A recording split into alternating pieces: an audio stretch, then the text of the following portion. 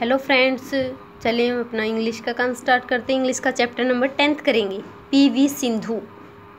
इसमें lesson about the lesson क्या है?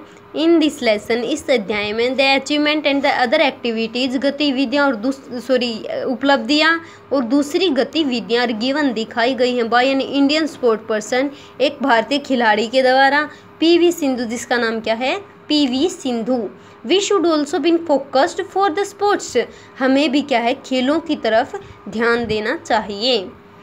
Pusarla Venkata Sindhu, born on fifth July 1995 Pusarla Venkata Sindhu, जिनका जन्म 5 जुलाई उन्नीस को हुआ, is an Indian professional badminton player, Bharat की पहली पेशेवर बैडमिंटन प्लेयर थी। एट द 2016 समर ओलंपिक 2016 के समर ओलंपिक में सी बिकेम वह बनी द फ़र्स्ट इंडियन वुमेन पहली भारतीय महिला टू विन जीतने वाली एन ओलंपिक सिल्वर मेडल जो ओलंपिक सिल्वर मेडल होता है, जो चांदी का पदक होता है, वो जीतने वाली क्या थी? पहली भारतीय महिला थी। Sindhu came to international attention.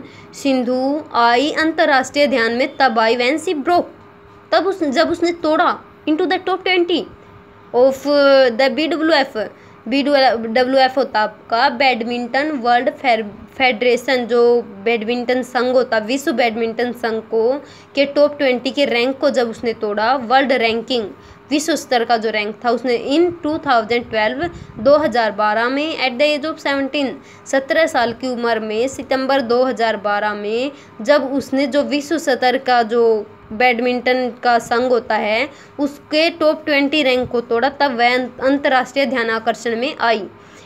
इन 2013 2013 में सी बिकेम वह बनी। The first ever Indian women पहली भारतीय महिला women's single championship sing sorry single player to win a medal पहली भारतीय महिला जिसने एक मेडल जीता था। At the badminton world championship विश्व स्तर की जो नेतृत्व होता है, उसमें जब उन्होंने सिल्वर मेडल जीता था, तब वह क्या हुई? ध्यानाकर्षण में आई।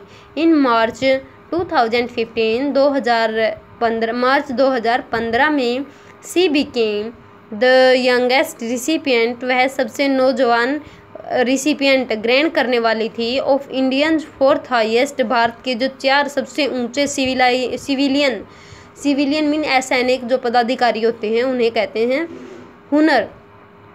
जो असैनिक पदाधिकार का जो मेडल जीतने वाली, वह पहली भारतीय महिला थी। द पद्मश्री, जिसका नाम क्या था? पद्मश्री। थैंक यू आज के लिए हम इतना ही करेंगे। आगे वाला नेक्स्ट वीडियो में करेंगे।